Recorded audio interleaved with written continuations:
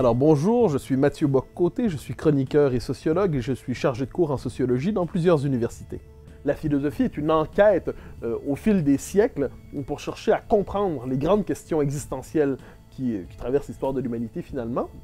Et par ailleurs, pour comprendre aujourd'hui même dans la cité les questions qui émergent ici et là, il faut être capable quelquefois de voir leur profondeur historique et philosophique et une formation philosophie avec les grands textes hein, qui sont quelquefois arides, qui sont quelquefois difficiles, ce qui ne veut pas dire qu'ils ne sont pas fondamentaux, me permettait justement de me donner cette espèce de, de, culture de base pour m'aventurer dans la vie des idées, dans la vie intellectuelle.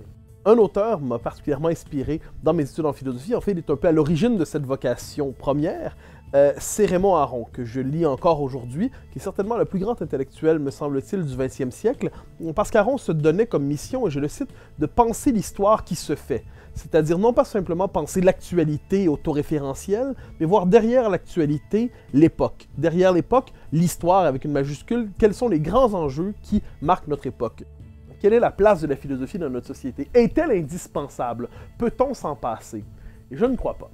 Euh, peu importe le métier qui est le nôtre, nous sommes, nous ne sommes pas. Imaginons vous êtes arpenteur géomètre, vous êtes lanceur au baseball, vous êtes plombier, vous êtes fonctionnaire, peu importe, vous n'êtes pas que cela, même si c'est votre vocation.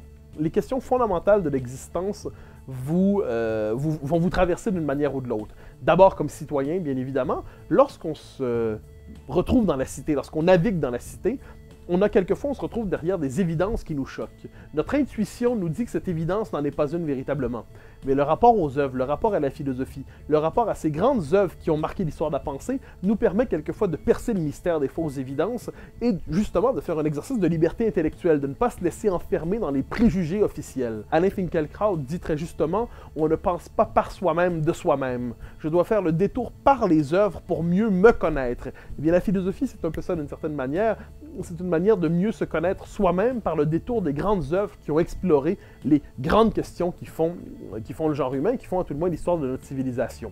Moi-même, dans mon travail, je suis, bon, j'en- j'enseigne à l'université, mais je suis aussi chroniqueur euh, dans certains journaux, euh, dans certaines émissions de radio, et c'est un, devoir que je me donne toujours derrière l'actualité autoréférentielle. hein. Vous savez, l'actualité qui exige qu'on la commande pour elle-même, toujours un peu à l'école de Raymond Aron, chercher à voir derrière l'actualité l'époque, derrière l'opinion, les enjeux fondamentaux qui émergent dans la cité. Et c'est la chose la plus fondamentale qui soit du point de vue de mon travail, c'est-à-dire être capable de ressaisir une controverse au moment de sa première apparition, voir quelles sont les alternatives fondamentales dans un problème, autrement dit révéler la portée philosophique des controverses et des questions qui habitent la cité. À tout le moins, c'est ainsi que je conserve un rapport intime avec la philosophie aujourd'hui, euh, ce qui ne veut pas dire bien évidemment qu'il faut donner des leçons de philosophie à chaque moment de la journée, mais il y a une part philosophique dans chacun de nos questionnements et c'est un immense plaisir d'en prendre conscience et de l'expliciter et à partir de ça de mieux se connaître soi-même. Alors la philosophie, pourquoi? Parce qu'elle permet tout simplement de mieux vivre.